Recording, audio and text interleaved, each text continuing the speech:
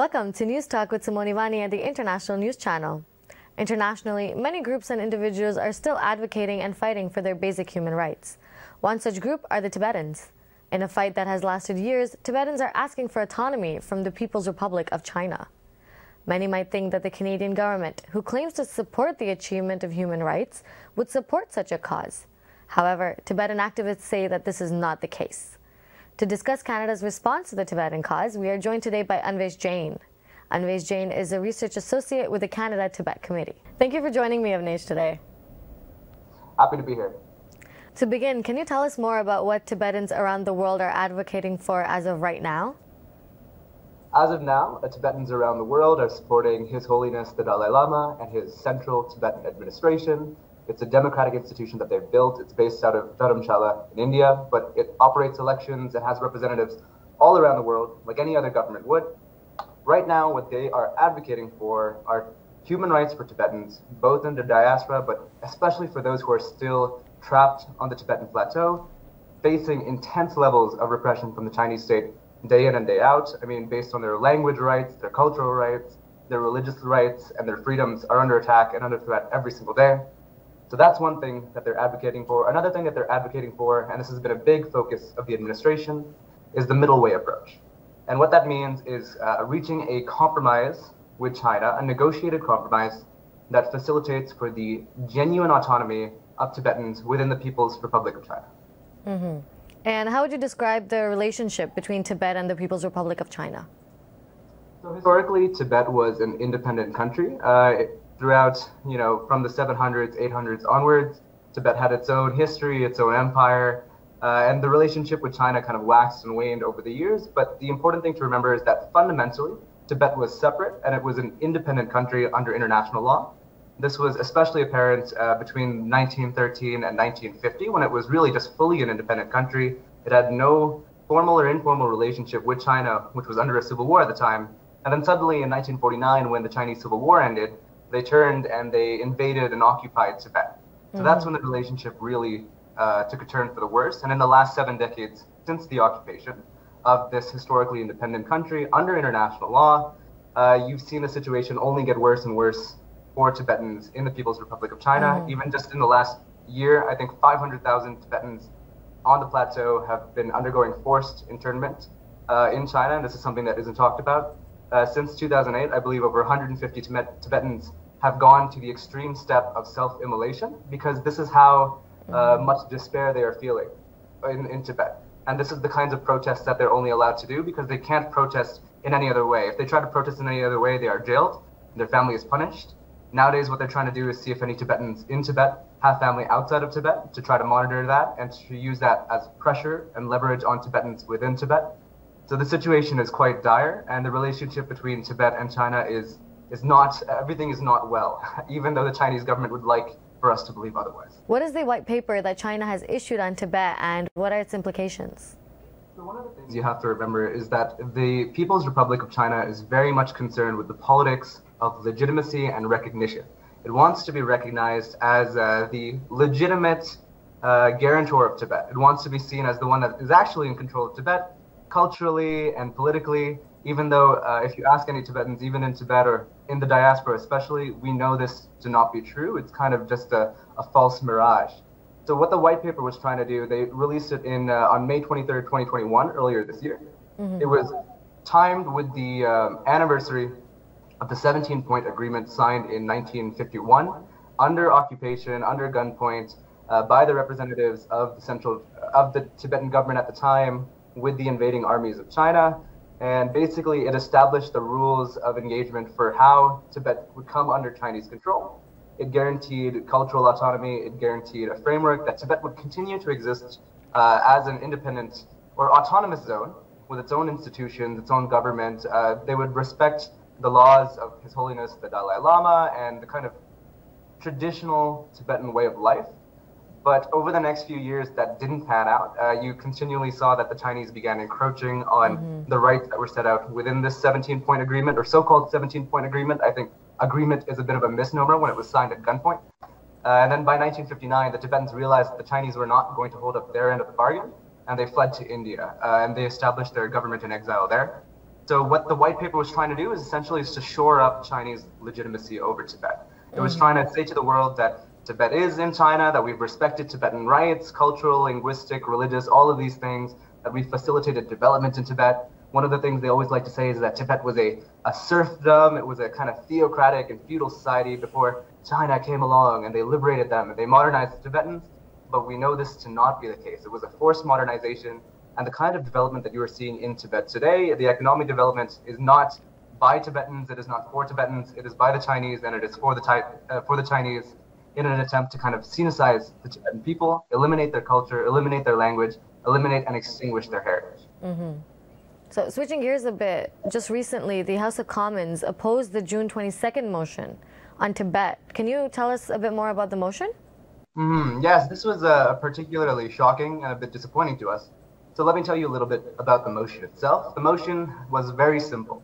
It called for dialogue. Uh, it's called that the Canadian government, the House of Commons, support dialogue between representatives of the Tibetan people, uh, the Central Tibetan Administration, for example, and the government of the People's Republic of China in reaching a better solutions for Tibet. Because we have to remember that when we're talking about all of this stuff, even uh, those of us uh, in the diaspora, those in the Tibetan diaspora, we always have to center the voices of Tibetans and those especially who are still existing under such unmitigated repression in Tibet today. It's important that we keep in mind whatever we do, whether it's pushing for independence, whether it's pushing for autonomy, whether it's pushing for a negotiated compromise, it has to keep in mind the interests and the rights of those who are still suffering under such repression day in and day out.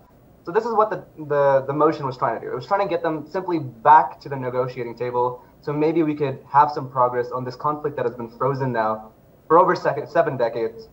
There's been a new urgency on the side of the Tibetans, uh, especially because they recently had an election for their Sikyong, or their president of the Central Tibetan Administration. Uh, the new one is Penpa Tsering, and his goal is to reach that middle way approach to uh, have this compromise and negotiation with the People's Republic of China and to hopefully get a better deal uh, for Tibetans who are still living under such immense uh, repression. So the motion was essentially calling to support that process of dialogue. Uh, you mentioned it was disappointing, but what was your reaction to the fact that there was not a unanimous consent for the motion? Hmm. So we were quite surprised. Uh, the way it works in our Canadian parliamentary system is that a motion needs unanimous consent for it to be passed by the House. Even if one uh, member of Parliament votes it down, then it's gone. It's gone from the agenda. You move on. So we were quite surprised because uh, this motion has been in the works for over a year. It received unanimous approval from the Special Committee on Canada-China Relations back in 2020, which is one composed of people from all different political parties. It, it's really dedicated to examining uh, the Canada China relationship. And this was one of the recommendations, one of the recommended motions that came out of it. It's received support from Ambassador Dominic Barton of Canada to China for mm. what he's testified on Tibet issues before the Special Committee on Canada China Relations. We've identified a need for this kind of motion for a while now. Uh, even other countries, other parliaments have established some kind of support for this motion. I believe that Sino Tibetan dialogue has got, gotten the support of the European, Italian, Dutch parliaments the European Commission, the United States State Department, the White House under President George W. Bush, and mm-hmm. the German Green Party. So uh, this is not a controversial motion. It was not designed to be. It was not designed to rile anybody up. It was simply meant to say that Canada continues to support this process of dialogue and diplomacy, and we believe that Canada has a special role to play and can serve as a special example, especially given that we have regional autonomy within our own borders. If you look at uh, Quebec, that's an example of a nation existing within a nation in a lot of ways. So essentially, we were we were kind of shocked because we had gone and we had lobbied. Uh, Tibetan groups had come together across the country from coast to mm-hmm. coast to talk to their members of parliament to get this motion and this agenda on board uh, in parliament. And and then suddenly we got the news that uh, it had been voted down or it hadn't passed unanimously, and we were kind of stumped as to why that happened. Mm-hmm. How does this particular motion fit into the general response by the Canadian government to support Tibet? Yeah, so essentially, uh, this motion would have been following on from a 2007 motion that expressed pretty similar inclinations. It was introduced by the New Democratic Party member of Parliament, Peggy Nash, back in 2007, and it was calling for something pretty similar. The reason we felt the need to push for a new motion now, 13, 14 years later, is because the last time that there was any dialogue between uh, between Tibetans and the People's Republic of China was in 2010, and the situation has changed so much since then. Uh, even with the new administration of the Central Tibetan administration, even with all these changes that we've been observing in the last 11 years, there hasn't been any push for dialogue. I think it speaks to the confidence of the Chinese. I think that they think that they have the upper hand.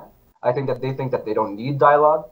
And that's why it's important for governments like Canada's, like the Europeans, like the United States to come together and say, no, look, human rights is important. You've mm-hmm. agreed to maintain this kind of special autonomy for the Tibetans. This is in your own words in the 17 point agreement from 1951 that you're kind of flaunting now in your white paper. But if you look at all the promises made, they've all been broken. You haven't lived up to any of them. So it's time for dialogue, it's time for diplomacy, and it's time for negotiation. I think the Chinese think that they are in quite the upper hand and they don't need to do any of that. So it's important that governments like ours make that push and demonstrate that support for Tibetans to continue that struggle, to continue that push for a negotiated compromise. Mm-hmm. No, I hear you. But taking a step back and looking at the bigger picture, how has the Canadian government handled the Tibetan cause compared to other countries? Sure, I, I, think that's a, that's an interesting question. It depends on what time period you're examining. So I actually have a paper coming out in December on the Canadian response to the initial invasion and occupation. Okay. And what I've observed and what we've been observing over the last seven decades is that uh, Canada's initial response, uh, even Lester B. Pearson, who later he was uh, Secretary of State for External Affairs at the time, but then he later went on to famously become Prime Minister and win the Nobel mm-hmm. Peace Prize, as we, as we know, as we talk about a lot in Canada even he has a statement from 1950, 1951 that says, under international law, I am confident that Tibet qualifies as its own sovereign state, its own nation. So you're seeing this kind of high rhetoric, high dialogue from the 1950s uh, after the initial invasion. And over the years, what you're seeing is a kind of watering down of that rhetoric. You're seeing that Canada is slowly stepping away from those commitments, stepping away from those ideas and ideals. In 1970, Canada recognized the People's Republic of China, and as a result, the Tibetan issue kind of had to be put onto the back burner, forced onto the back burner, mm. uh, as a result of opening up, you know, the economy with China and these political relations that Canada was trying to cultivate with the Chinese government. And over time, unfortunately, what you were seeing is that there's a steady deterioration of support for Tibet, even from the 1990s when His Holiness the Dalai Lama was uh, granted an honorary citizenship of Canada, to now when he's not even invited to Canada, he's barely uh, been mentioned by the prime minister, by the current government. So unfortunately, what you are seeing, regardless of political party, and this is something I want to stress, is that yes, we are disappointed in what's happening currently with the current government, but we can't place the blame solely on them because there have been liberal governments, there have been conservative governments. Unfortunately, it's a pan-Canadian problem that we are witnessing this kind of steady deterioration of support for Tibet from what was once really a, a principled and um, traditional commitment that Canada had towards the Tibetan people. Well, you stated publicly in your article that the Liberal government, particularly, has abandoned Tibetans. So, can you tell me a bit more about why you take that stance?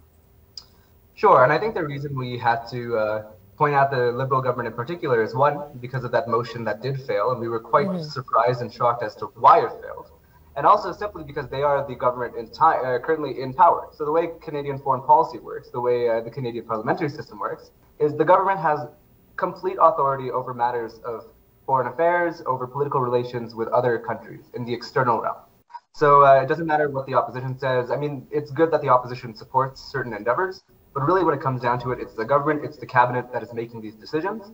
And we want to make sure that the cabinet understands that we are witnessing this kind of silence of Tibet that has reigned for the last six, seven years. Mm-hmm. We are seeing that Tibet gets no mention from the top of Canada. We're seeing that um, there is support in other matters, but there seems to be a very real hesitancy to talk about political affairs. There seems to be a real hesitancy to talk about human rights affairs when it comes to Tibetans.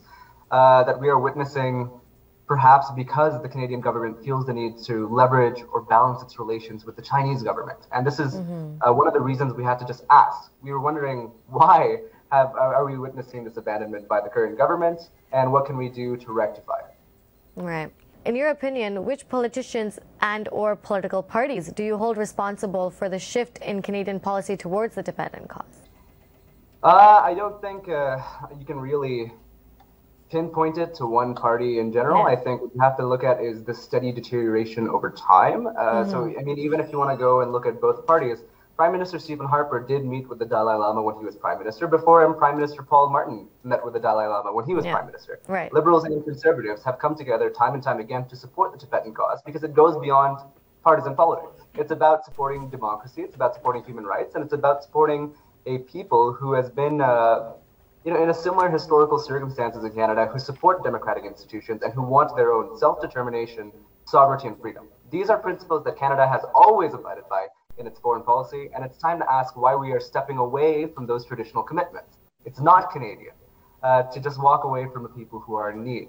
And what we're seeing over the past, you know, decade or two is that that's what we are, have been doing, very unfortunately. And uh, you know, conservatives have been in power; they haven't necessarily walked back the trend. Liberals have been in power; the situation has deteriorated. So, in my estimation, it's a pan-Canadian problem. I don't want to point mm-hmm. blame on any particular political party or politician because really, like we've talked to so many different politicians about this issue over uh, the last year, over the last few weeks. We were trying to get this motion passed and we got this support from liberals, from New Democrats, from conservatives. You have to remember that uh, the motion was approved unanimously in the Special Committee on Canada China Relations. But then when it came to making it a matter of government policy, when it came to announcing this policy to the whole world, that's when we're seeing uh, the Liberal Party step back. Mm. And they're currently in charge. So that's where I think, unfortunately, the critique has to, the blame has to be placed. Do you think that the Canadian government is hesitant to stand in solidarity with Tibet? So I, I think uh, publicly uh, there is some hesitancy to s- make these statements about Tibet, to declare, to very, uh, you know, publicly make these announcements, like what you were seeing in India with Prime Minister Modi wishing the Dalai Lama happy birthday publicly. This was a big step, a big shift in India's Tibet policy. In the in the United States, you were seeing them consistently meeting with representatives of the Tibetan Central Tibetan Administration. Just this week, there was a meeting between the United States, India, and representatives of the CTA the Central Tibetan Administration. So you aren't seeing similar rhetoric or similar uh, public displays of policy from Canada. I'm not going to say that Canada hasn't been supporting Tibet. This is a, that would be incorrect. Mm-hmm. There have been many initiatives that the Canadian government has been supporting in terms of education rights, linguistic rights. If you look at uh, exile communities around, especially India and Nepal, the Canadian government is doing a lot of important work in funding those schools, making sure that Tibetan kids know their history, know their mm-hmm. language, know their heritage, and are able to com- compete and thrive in a modern economy. So these kinds of soft skills or, or human security issues are important. I'm not going to uh, say they aren't. The Canadian government has accepted many Tibetan refugees over the years to the point that the community is now over 10,000 uh, Tibetan Canadians and growing stronger. Mm-hmm. Uh, just in July, they celebrated Tibetan Heritage Month in Ontario. So I can't say that from official Canada there has been no support or it's been complete negligence. Okay. But what we are seeing is more of a hesitance to talk about the political aspect mm-hmm. to talk about the human rights aspect, to challenge China on international forums directly. And I think there might be a couple of different reasons for this. In that, what more do you think the Canadian government should be doing to actually support them then? I think there's a few things that the Canadian government can be doing, and it's not, uh, you don't have to reinvent the wheel. In fact, a lot of our allies, a lot of our near peer countries have been doing things that uh, we could probably take a, a, a, leaf or a page out of their book I, I know India, the United States, a lot of European countries, countries that we would consider our allies in democracy and human rights, especially in the foreign policy realm, have been taking certain steps that Canada should learn from. I think in the United States, in the same time period that we're talking about, just in the last two, three years, there was the uh, Reciprocal Access to Tibet Act, mm-hmm. and there was the, the landmark Tibet Policy and Support Act of 2019. And even now, the Biden administration, you are seeing them consistently mention Tibet, bring up Tibet, and recognize Tibet as a strategic, strategic and human rights issue that they are abiding by. I do also have a few specific recommendations that us at the Canada Tibet Committee have been pushing for over the years. So these are some things that the Canadian government might want to consider. Mm-hmm. So one of them was the adoption of this motion in support of dialogue between the representatives of the Tibetan people and representatives of the Chinese government. Another was a call for unrestricted reciprocal access to cultural Tibet for diplomats, parliamentarians, researchers, and journalists. Mm-hmm. A call on Canada to support an independent fact finding mission to investigate the human rights situation in Tibet, including reports of coercive labor, surveillance and re education, the resettlement of nomadic pastoralists, and the status of linguistic cultural rights and religious freedom, freedoms. And to look into the recent closure of the US consulate in Chengdu, which would have been the closest one to Tibet, the persistent need for information gathering by democratic countries, and the recommendation that Canada transfer a third staff person to the Canadian Trade Office in Chengdu with a specific mandate to monitor the situation in Tibet. Because what we are seeing by members of uh, Global Affairs Canada, by parts of the ambassador and the diplomatic class, whenever they talk about Tibet uh, in Canada, they say that they, we don't have enough information. We don't have proper access to Tibet because it's a highly restricted place. Uh, the media freedoms are essentially non-existent. It is one of the most, uh, is the least free country in the world, ranked consistently year after year by Freedom House. Uh, and so information gathering is something that we can work on as well. And these are all mm. relatively simple things. I think the path has been laid and pioneered by other democratic allies. So it's more about not reinventing the wheel, not really going out and creating this bold Canadian policy on Tibet, but rather keeping in lockstep with our closest friends and allies on this issue that is important and it is of our critical interest. No, that's absolutely fair. Given the fact that China has received a great deal of international scrutiny for the situation in Xinjiang, as well as the situation in Hong Kong, why do you think that this scrutiny has not been extended to Tibet? Right. I think that's a very good question. Uh, we've identified, I think, three main reasons behind the relatively less international scrutiny for the situation in Tibet. The first one is a lack of information coming out from Tibet. So, this is what we just talked about. Freedom House consistently ranks Tibet as the least free country in the world, ranking it on the same level as Syria in its annual human rights reports. Mm. Uh, Reporters Without Borders has stated that it is more difficult to get access to Tibet than to get access to North Korea. I'll let that sink in for a minute. So, yeah, no, one, that's... the level of information that we are getting is, is very difficult, first of all, so we don't fully know what's happening in Tibet so that we can talk about it in the international human rights community. The second reason is the nature of the repression itself. The nature of repression in Tibet seems to be designed to create confusion among local Tibetans as well as international observers. Different provinces and prefectures in Tibet seem to have different styles of policies without any common pattern of policies that one can point to and readily identify. The scale of imprisonment camps for forced ideological trainings do not seem to be as large as those in East Turkestan or Xinjiang, as you've mentioned. And the sophistication and crisscross of these discriminatory policies, using really advanced, sophisticated technological means of repression, make it very difficult for international observers to point out a common pattern of human rights discrimination. And finally, the third reason I would mention is the duration of the Tibetan movement. The Tibetan movement itself kind of peaked in the 1980s and 1990s, especially when the Dalai Lama, His Holiness, won the Nobel Prize. Uh, and because the movement has been in the public consciousness for so long, because it's been a 70 year movement, because it peaked in the 1970s and 1980s, which, if you can believe it, is already 40 to 50 years ago, because of the movement's length and duration, which is one, a testament, I think, to Tibetan people. But unfortunately, when something goes on for so long, it tends to lose um, the spotlight. It tends not to have the same shine in the international consciousness or yeah. the global human rights consciousness. So, in your opinion, why should Canadians care about the Tibetan cause? I think that's a really good question, and I think it's something that all Canadians should introspect about. Do Canadians care about human rights? Do you care about the religious freedoms and cultural rights of others? Do you believe that others have a right to go about their day, to practice their traditions, to learn their history, to go to their temples, their mosques, whatever, and be able to practice their faith as they believe in? That they have the right to speak out, that they believe that they have a role, they have a place in determining the future of their governments, uh, of their country. If you believe in these things, if you believe in democracy, if you believe in constitutionalism, if you believe in self determination for different national and ethnic groups, then you should be a believer in the Tibetan struggle. Yeah. Uh, I think that it's, it's a very noble cause, especially given the nature of the nonviolence. This is something that has been pointed out time and time again. Yeah. The Tibetan struggle was not a violent one. For the last seven decades, one of the reasons it has been so remarkably durable is because of the Tibetan commitment to nonviolence, to uh, negotiation, to dialogue, and to compromise without ever giving up their identity, without ever giving up their heritage, which is something, it's the kind of information warfare that China is trying to impose on them. Uh, there's a really good quote that I, I, always go back to, which is that the struggle of uh, man against power is the struggle of memory against forgetting. And that is the kind of mm-hmm. struggle that Tibetans are in right now. They're in a struggle of remembering who they are, remembering their identity, remembering their history as an independent nation. And it is the forgetting that the People's Republic of China is trying to impose on them. They're trying to make them forget who they are, where they come from, and what they believe in.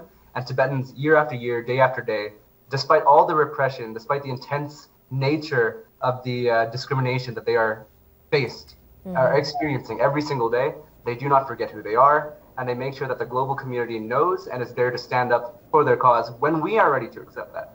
So I think that part of uh, the duty of every Canadian who believes in these ideals, who believes in these principles, and who believes that Tibet, the Tibetans have a point to make not only about how small nations are treated in that part of the world, but everywhere. They're, the rights of international law and international communities. I think that we can put a lot more pressure on our government, on all of our representatives, mm-hmm. to take a leaf out of the Tibetan playbook and support the Tibetan because mm-hmm. So, what do you think Canadians can do to better support that cause? Well, there are a lot of organizations like the Canada Tibet Committee, I'll plug my own here, uh, that are doing this kind of work. We are reaching out to representatives in the Canadian government. Every year we have lobby days, we talk to these people. And really, the average person can do a lot just by using their voice, just by using maybe social media, following different organizations, learning, educating yourself about the history of the Tibetan struggle, not believing the kind of propaganda that is coming out of the People's Republic of China. At the very least, take it with many, many grains of salt. Do your own research, do your own reading, understand why we're here, why are we talking about these issues, and how does it matter to Canada today? Because I really think that Tibet is not some issue that is dead and buried in the past. It is not something that is uh, old history. It is something that is today. It is something that is present, and it is something that matters to Canadians. Mm-hmm. There are 10,000 uh, Canadians of Tibetan origin now residing in Canada. A lot of them are in the Little Tibet community, Parkdale High Park community in Toronto. You've probably yeah. eaten at a Tibetan restaurant, or, or many of us, I, especially, I mean, I'm from an Indian background. We love our momos in Delhi. We do. So we absolutely do. You have, if you've engaged in any of this stuff, you are engaging with Tibetan culture. No. And I think uh, maintaining that engagement, educating oneself, talking to Tibetans, and going out, and if you have the time and energy to do so, get in touch with these organizations. Get in touch, send the Canada Tibet community an email. Get on our email list uh, see what you can do, uh, sign uh, letters, petitions, talk to your MPs about these issues. If this mm-hmm. is something you care about, this is something they should care about too. Yeah. No, I absolutely agree with you. And thank you so much for joining us, Anvesh. It was an absolute pleasure. It was my pleasure being here. Thank you to our viewers for tuning in. You're watching the international news channel on TAG TV. I am Simoni Vani. Don't forget to like, subscribe, and turn on the bell notifications to stay up to date on our latest videos.